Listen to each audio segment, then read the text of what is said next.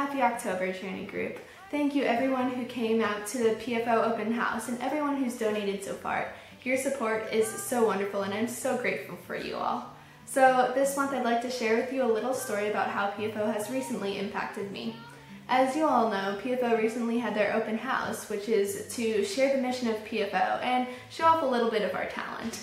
Uh, I was privileged enough to be one of the tour guides who would walk people around and answer questions and be able to share the mission of PFO with them.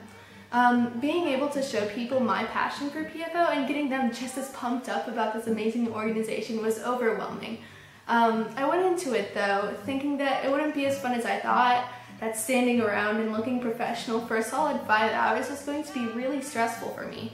But instead, I um, became super excited and each tour that went by I became more and more passionate about what I was telling them, about my ability to um, share PFO's story in my own words.